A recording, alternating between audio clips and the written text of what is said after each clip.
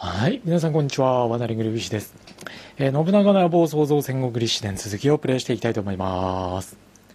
まあ、前々回ですね、大垣城を今川軍からあ奪還、奪取して、えー、前回はですね、清須城、そしてその大垣城を再奪還しに向かってきた今川軍を撃退。で、えー、さらに大軍を送り込んできた今川軍に対し、朝廷の意向を使ってですね、和睦に持ち込んだというのが前回の様子になります。今回はその続きです。で、早速次のターンでですね、えー、まあいよいよ再び今川とのいわゆる和睦状態が終了してしまうので、まあ、そこをねどう切り抜けるかというところともう一つポイントになってくるのがやっぱり武田北条の動向なんですよね。まあ、彼らがうまくその今川をね、えー、圧迫してくれると我々の方にもチャンスが生まれてくるかなというところですね。毛利家の工作援軍が頼めるようになりましたということで、まあ、毛利とはすでにね24ヶ月の同盟を結んでますんでこの状態を維持しておきましょ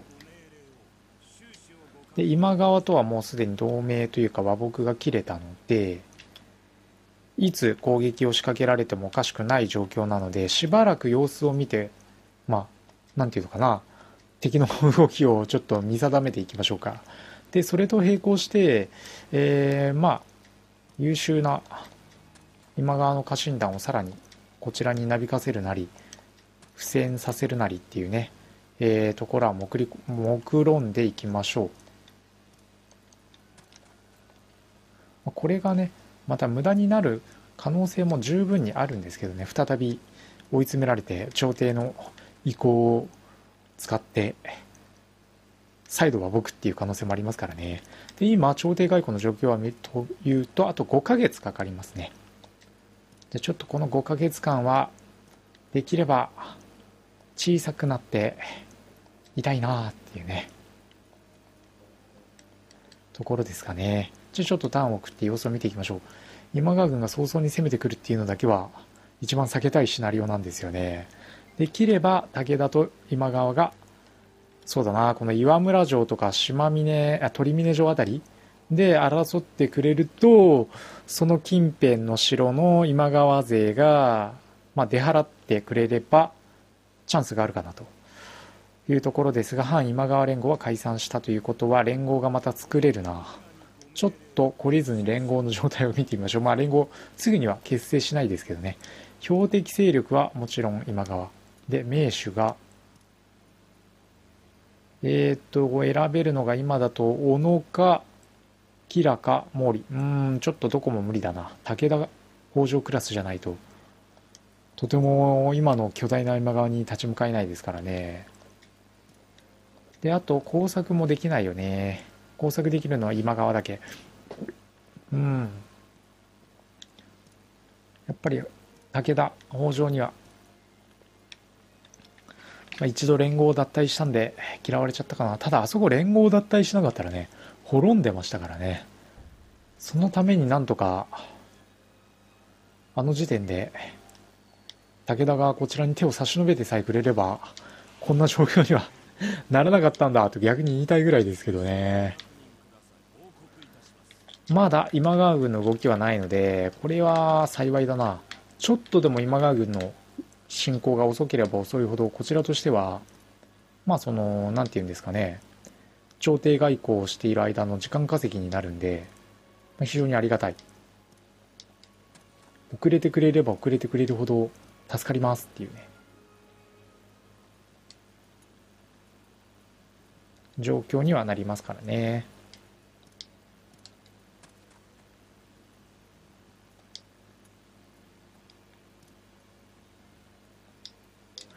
さここでちょっとまた木材不足になってきたのでお金はねちょっと使いたくないんで兵糧を少し売っていきましょうか。一番お金を使いたくない理由は朝廷外交にそれなりにお金がかかるっていうね。現実的にお金が足りなくなってくるんじゃないかっていうのがありますからね。でまた回収を入れていきましょう。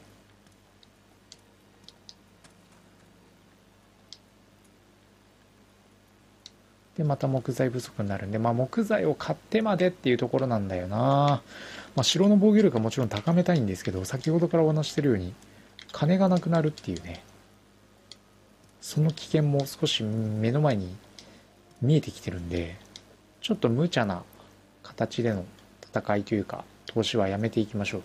で、その上で、できる回収は入れていきたいというところで、えっ、ー、と、4層停止するには木材が足りないと。ほう。まあそうだろうな。まあ木材がもう400しかない、500か、しかないってなるともう何もできないな。しょうがない。ターンを送っていきますか。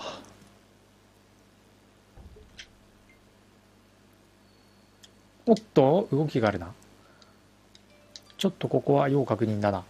えっと、敵の動向、まあ、今川軍の動向を見ると、これを見る限り、武田と、どうだ？この内域城あたりで小競り合いが起きそうな構えだな。まず、武田軍の動きですが、内域城に向けて、えー、軍勢が出てますね。しかも、それなりの数の軍勢が出てる。馬場信春とかも出てる。ことを考えると、秋山も出てるね。ってことはこれ主力が出てくるな。さらに、北国方面からも軍勢が出てきてるんで、大規模な侵攻があると見て間違いないでしょう。であれば、我々としてはこの隙に鳥峰城を奪い取りましょうか。岩村城の方が奪いやすいどうだ？島峰。いや、ここは欲をかかずに末森城とかね、この辺取りたいけど、岡崎城から軍勢が出てくると支えきれなくなるんで、ここは確実に一つずつ城を奪っていくっていうことで、えー、鳥峰城に軍勢を出しましょう。思い切って。まずは、正次。で、さらに、三井で。で、キーオスからも軍勢を出しましょう。で取り付いたら速攻で落としましょうか。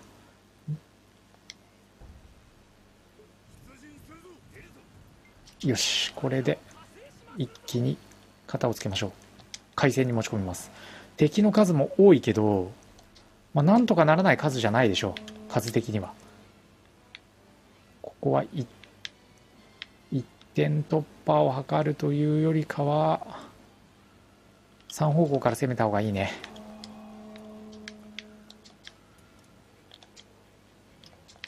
で敵の援軍が来る前に蹴りをつけるのが一番いい。さて援軍が来たね。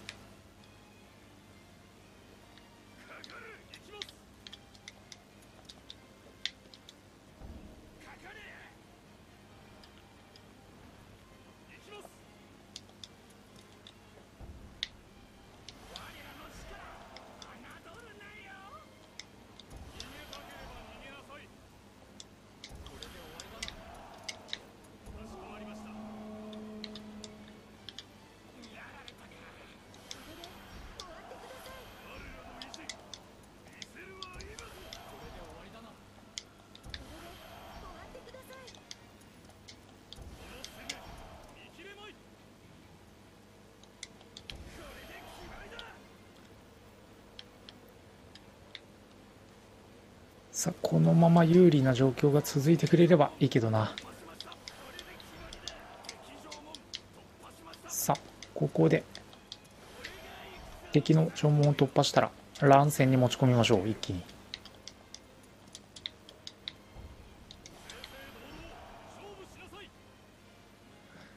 ここは中に入られるか。ただ槍の又座の効果がおっと。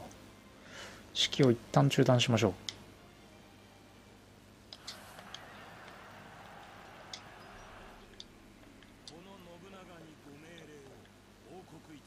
さてさてどうなるかというと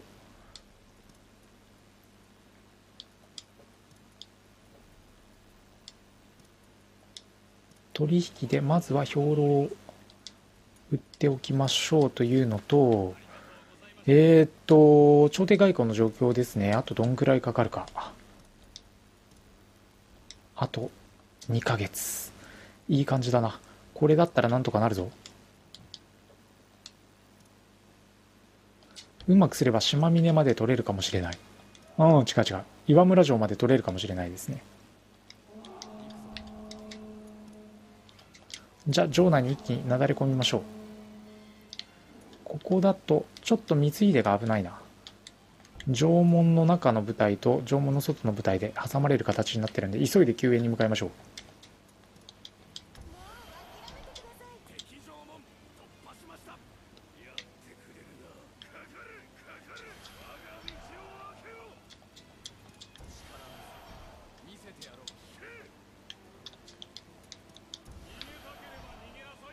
よし本丸まで一気に。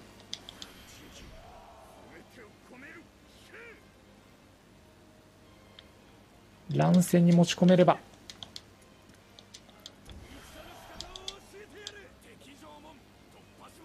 よし、まあ、ここは確実に取りたいので、えー、天守までもう落としちゃいましょう。この状態で戦闘をやめるとおそらく城が落とせる状態になるんじゃないかなと思うんですが確実に包囲状態になってたかどうかね定かじゃないので念のため確実を期すためにこのまま天守を落としましょう。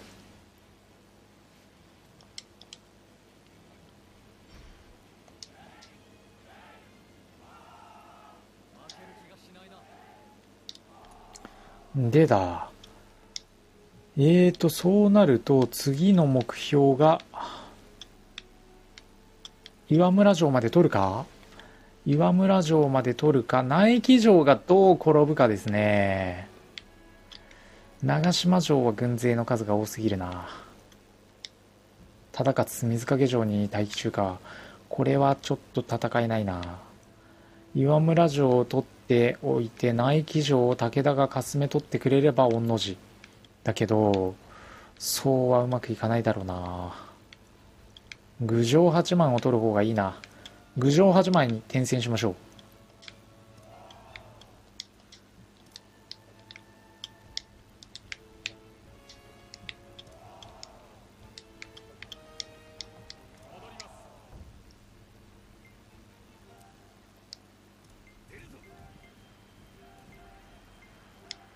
朝廷工作も完了した。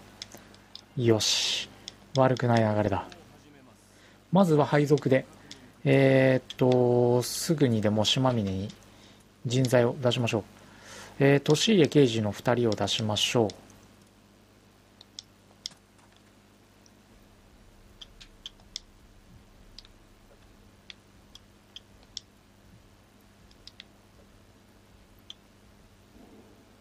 島峰城はすぐにでも回収に入りたいな。回収には入れないか。まあ一つずつ一つずつ登っていくしかないかな。まあ確実に城をね、えー、奪い取っていく。っていう意味では郡上八幡には今武田隊が取り付いてるのか武田隊と争うのは得策じゃないな。戻りましょう。今武田隊といざこざを起こしても正直言って何らいいことはないので、えー、ここは一旦兵を引いて、できるならこの岩村城を落としたいぐらいだよな郡上八幡が落ちる可能性がありますね、これでも。いや、嬉しいような悲しいような何とも言えない感じだな。で、忠勝がどこに行くかというと、忠勝の動向次第では、末森城を吸収するという作戦もありだな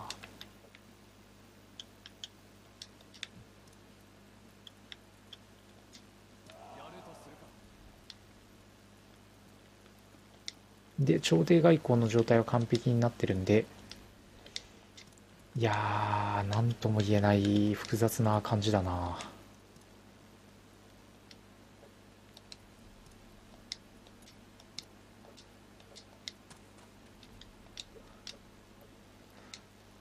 投資はちょっと委任してできるところはやってもらうにしてだ。次、末森城奪還したいな。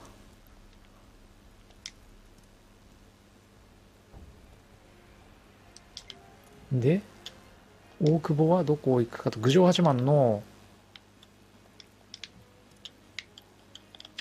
救援に向かうわけだな。ってことは、こいつと勝ち合わせるのは得策じゃないんで、ルートを変えましょう。で彼らも郡上八幡の防衛に向かうんだなよし悪くない全然悪くないぞ郡上八幡の方にみんな向かってくれ郡上八幡が大軍勢で揉まれてるな。で彼らは末森城から目標が大草に行っている。で末森城か。末森城。どうする？末森城で一大決戦に及ぶかどうかだな。今なら末森城にある程度の軍勢を出せる。出せるぞ。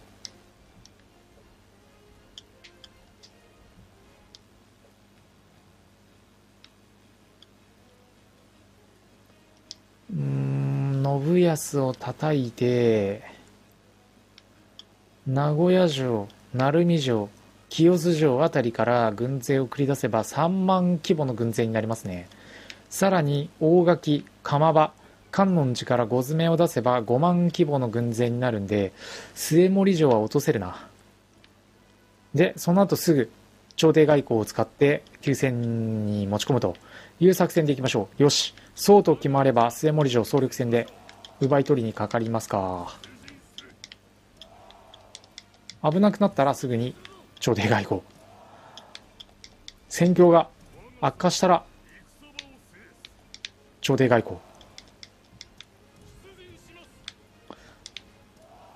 一応釜場城とかの軍勢もすぐに、えーまあ、取って返せるようにという意味も込めて少し養老無駄遣いしますが末森城に対して軍を出しておきましょう。これでどうだ？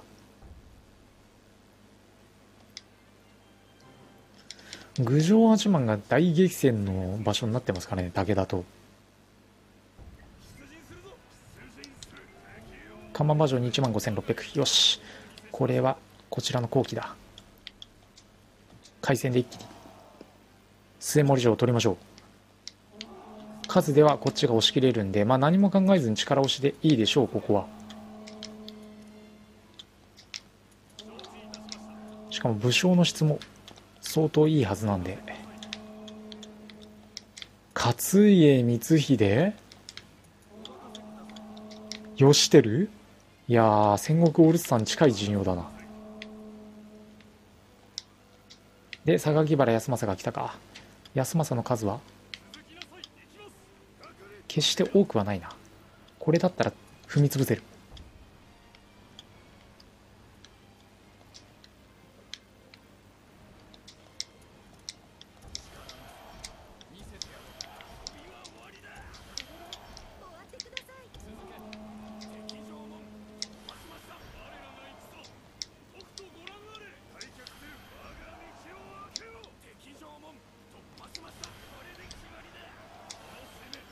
いやー、大激戦になってるなまあ、ここはある程度数を失ってでも、末森城を取り切る。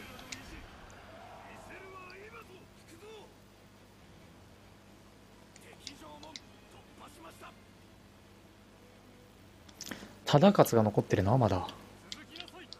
忠勝はかなり危険人物ですからね、一気に、一気の兵で押しつぶしましょう。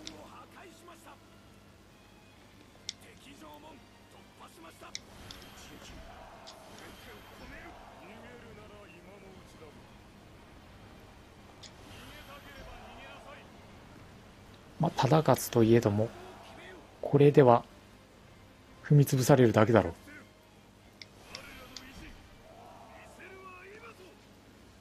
いや、この朝廷外交を駆使した汚い作戦ではありますけどね。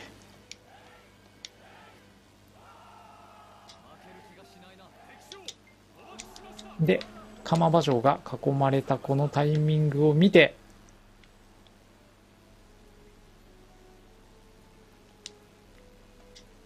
和解をしましょう。さあ、これで兵を全て引き上げましょう。いやー、この地道な、姑息な手段で、少しずつ今川の戦力を削っていくしかないな、今は。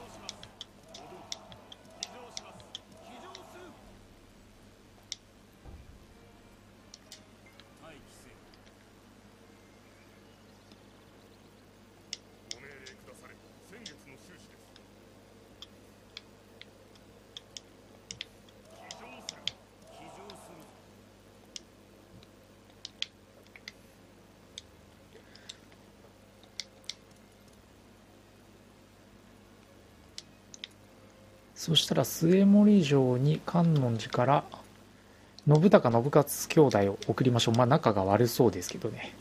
仲良くしてもらわないと。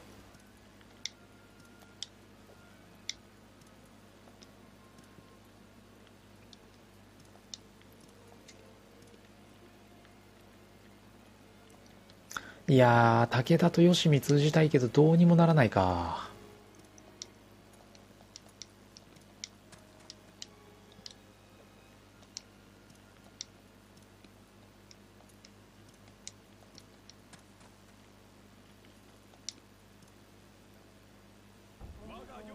な島峰目指して武田が攻めてくる？いやー、これは想定してないよ武田さん、それはやめよう。いや、武田くん、それするかね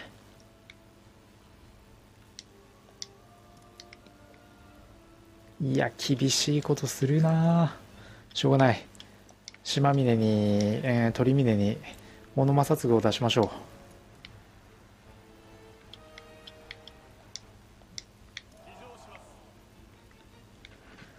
まあ、なんとかこらえられるかなとは思うんで、数的にはね。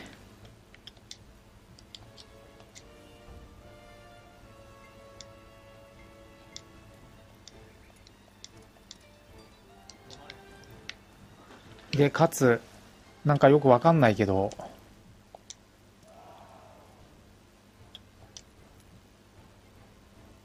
今川軍が、なんか鳥峰城で、近辺で戦ってくれてるんで ちょっとこれは想定外にすごいラッキーですけど、この隙に兵は戻して回復しましょう。いやー、今川さん、そんなもう甘っちょろいことじゃ、この戦国の世生き残れないですよって言いたくなるな。まさかね、この鳥峰城をかすめ取られ、末森城もかすめ取られ、朝廷の意向を使って和睦した直後にその鳥峰城を守ってくれるっていう人の良さ。今川さんには頭が上がらないな。さあじゃあえっと瀬森城ね早速回収して城の強度を上げておきましょう。この後すぐまた戦いになるのは必要ですからね。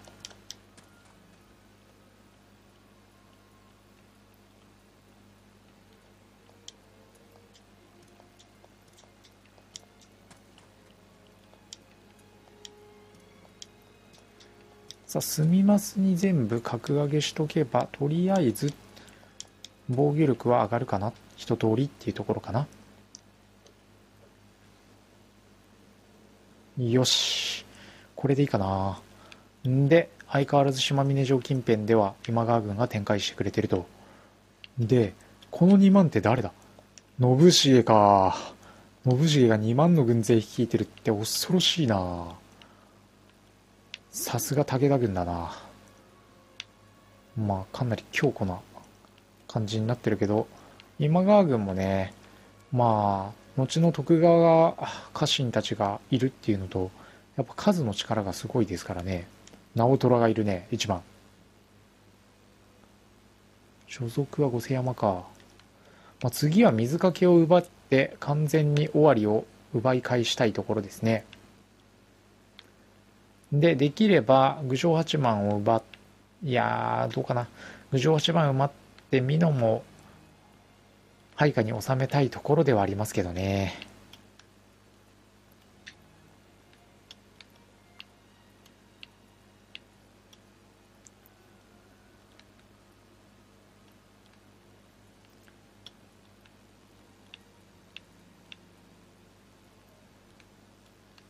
毛利隊と備中高松城近辺で激戦中か。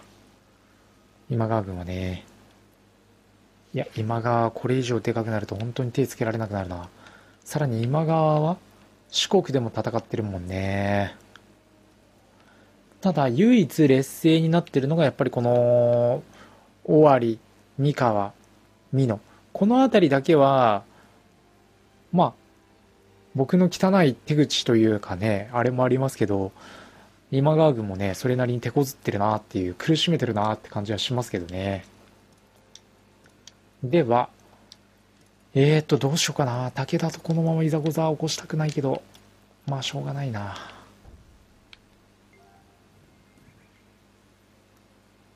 武田は兵を引いてくれればそれで OK なので、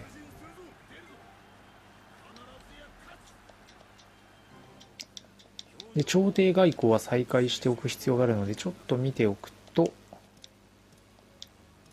正信にやらせれば9ヶ月で済むと。うんだいぶ短いね。正信にやらせよう。で郡上八幡は今戦闘中で、まあ、元康、まあ、後の家康が救援に向かってるんで持ちこたえるな今川が。でさらに武田軍は岩村城目指しているけど岩村城にも武田と同数ぐらいの今川軍が展開する予定なんで間に合いそうですね。直虎も行くとなれば大丈夫でしょうとなるね。ではではえっ、ー、と味方の状況はきっちり整備しておきましょう。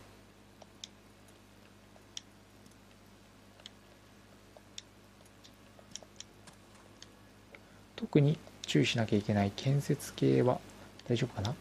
外交も連合は相変わらず難しいだろうな。標的勢力は、うーん、どうにもならないもんね。で、工作も入らないしね。どうしようもないよね。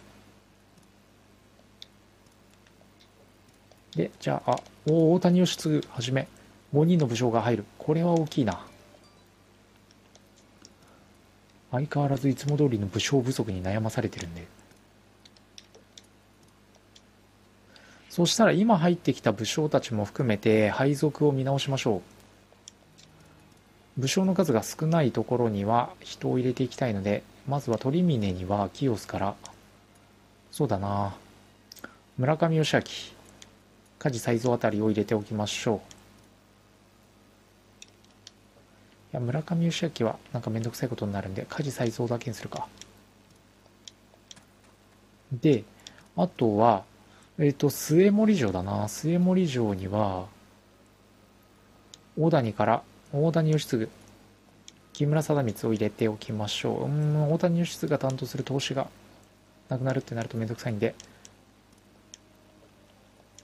早見にしましょう。早見もダメ？じゃあ木村だけだな。これで、えっ、ー、と、各拠点に3人は入ったかな。